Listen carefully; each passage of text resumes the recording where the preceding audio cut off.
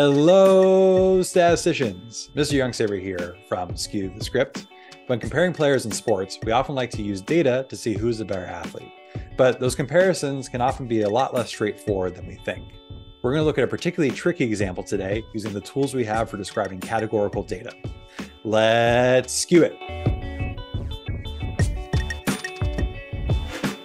Today's lesson is on describing categorical data. This is lesson 1.2 in our course sequence. We're going to talk about the Aces basketball team today. They're a WNBA franchise that moved from San Antonio to Las Vegas in 2018. And that first year they came to Las Vegas, 2018, they kind of, well, sucked. They came in last place in the Western Conference that season.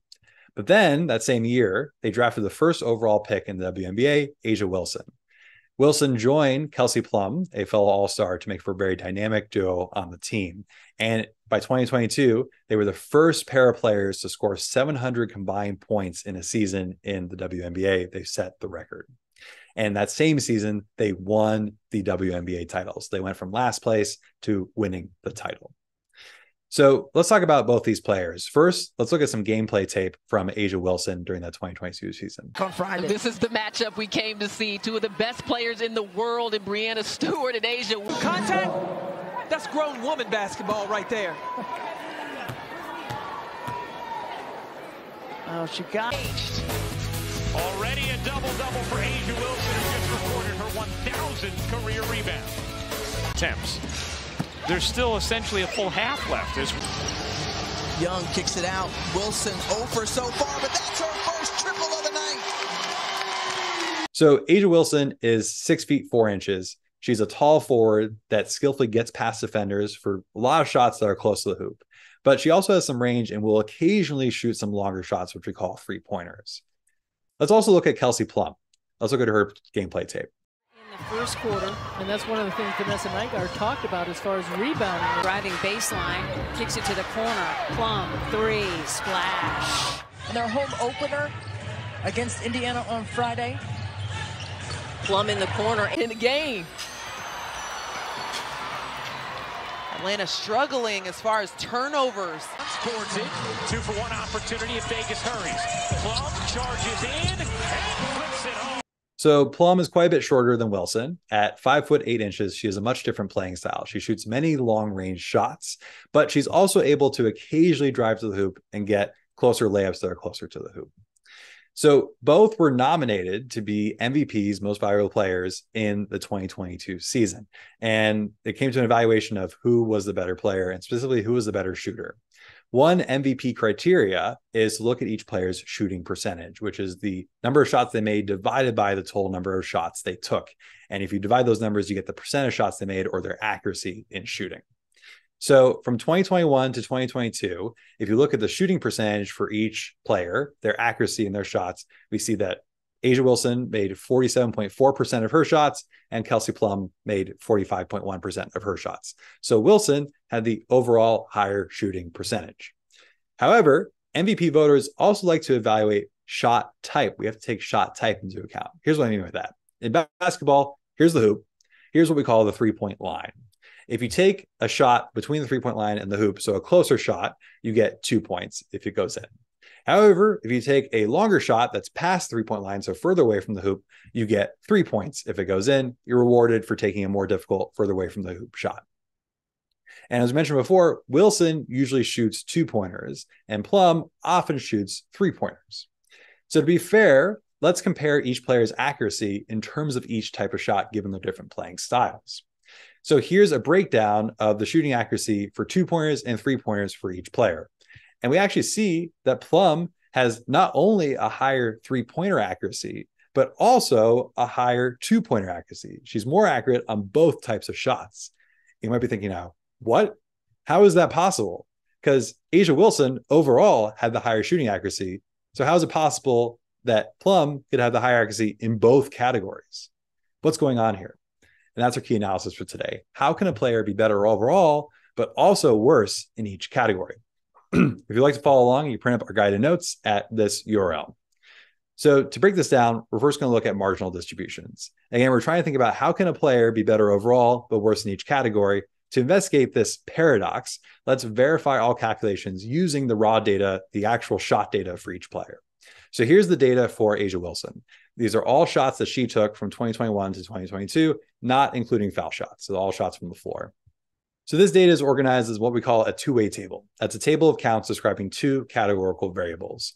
The two variables being described here are the type of shot that she's shooting and the shot result, whether she made it or missed it. And a good first step when working with two-way tables is to find all the totals. There are two kinds of totals, column totals and row totals. The column totals are these vertical totals. Think the Greek or Roman columns, that's a column. Rows are horizontal. Think about oars rowing a boat, that's horizontal. So we can look at the column total, the total number of two pointers that she took, the total number of three pointers that she took. We can also look at the total number of made shots, that's our first row total, total number of missed shots, that's our second row total. And we can also get the grand total, the total number of shots described in this table. To get the grand total, you can either add up your column totals or add up your row totals. Don't do it twice, just do it once. But if you do it, just make sure that they match so you've done all the calculations properly. So let's go ahead and find Wilson's overall shooting percentage. And when we're talking about an overall shooting percentage, we don't really care about the type of shot. We only care about the shot results. So what we're going to do is find what's called the marginal distribution. That's the breakdown of only one variable in this table, one margin. When you think about margins, you might think about margins on paper. There's a top margin and a side margin. For marginal distribution, we only care about one of those margins. In this case, the shot result margin. We don't care about type of shot. We're just looking for the overall made versus missed. So in this case, we're going to erase the breakdown by type of shot, and we're just going to look at made and missed shots out of the total overall shooting percentage. So if you want to find the percent of all her shots that she made, you take the amount of made shots, 467, and you take it out of divided by 985 total shots that she took, the grand total. And so when we do that, we get 0.474. That's the proportion of shots that she made, which, if you convert it to decimal, is 47.4%. Her shooting accuracy, she made 47.4% of the shots she took. You can do the same thing for missed shots. So 518 out of 985, that means that she missed 52.6% of the shots that she took. And this is what we saw before. This is Wilson's overall shooting percentage. Um, and you can also verify Plum's overall shooting percentage that we gave before by getting her marginal distribution. And you can see that she made 45.1% of the shots that she took during these years. And that is verified with the numbers I showed earlier. So, how can we visually compare these overall shooting percentages to get a first comparison in there? And we can do that by using a side by side bar graph. So, let's visually compare these percentages that we calculate because it's a lot of numbers to keep track of. Instead, a visual can help us out. So we're taking these numbers and putting them side by side as bar graphs. Now, whenever you make a graph, you should always think about this title, tick, tick, label, label, label. Reminding yourself of these things will help you get maximum points on free response questions on the AP exam. Every graph needs a title when you make it. Every graph needs to have tick marks to show scale. And we need to label everything we need to label. In this case, I'm labeling the y axis, I'm labeling the x axis, and I'm labeling my color scheme for my key. Now, note one thing Shown here that you don't need on the AP exam is bar labels with the exact percentage values. I just showed that here for clarity, but you don't need that on the AP exam. You just need to show the bar heights themselves. So what does this graph show?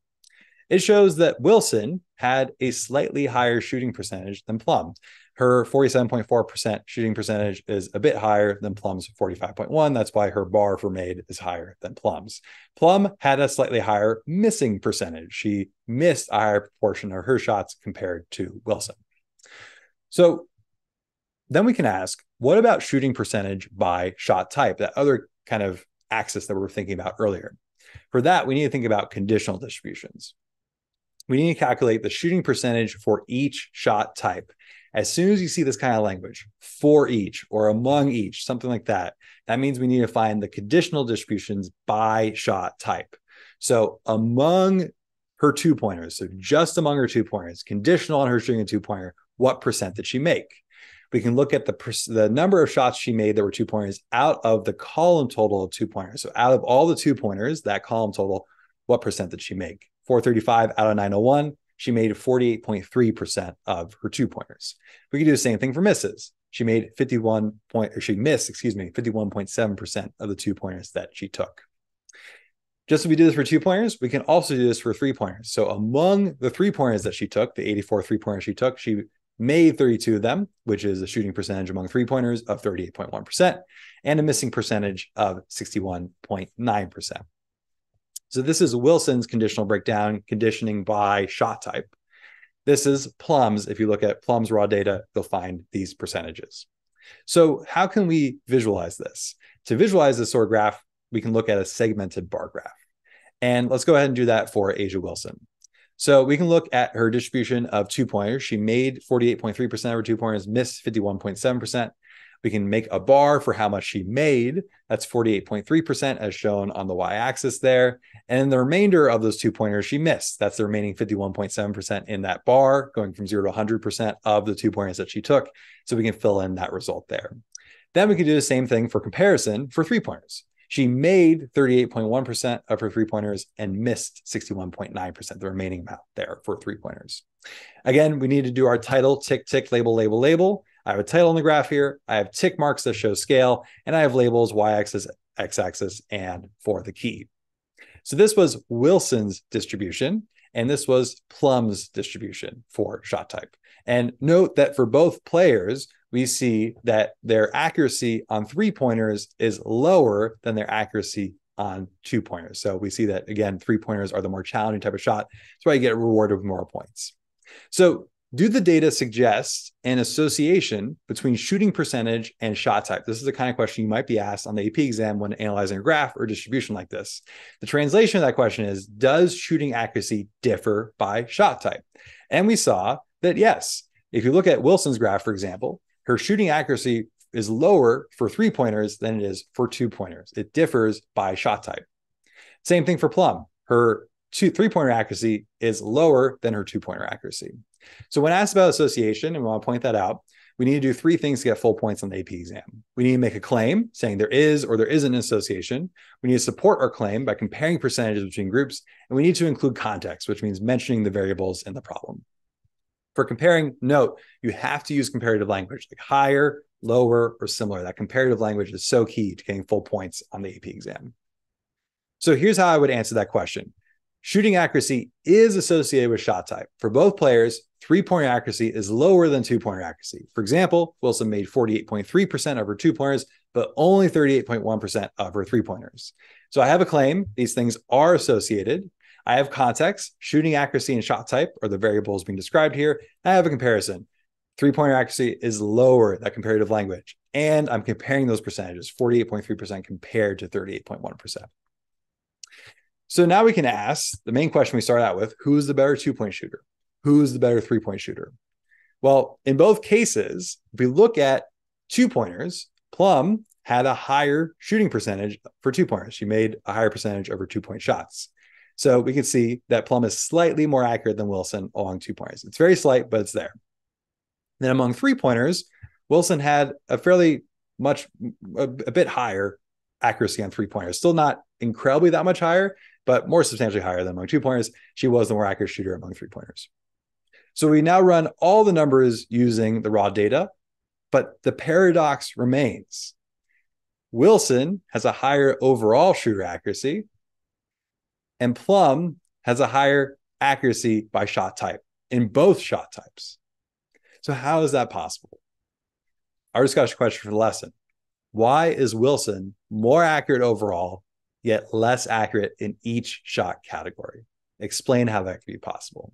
And here's a hint here are two mosaic plots describing each player. A mosaic plot is the same thing as a segmented bar graph, but the bar widths are scaled by the sample size, the number of shots in each category. So on the left is the mosaic plot for Wilson. On the right is the mosaic plot for Plum. And so the discussion question remains why is Wilson more accurate overall, yet less accurate in each shot category? Explain and pay particular attention to this mosaic plot and what it might be showing you. That's it for today's statisticians. We'll see you in class.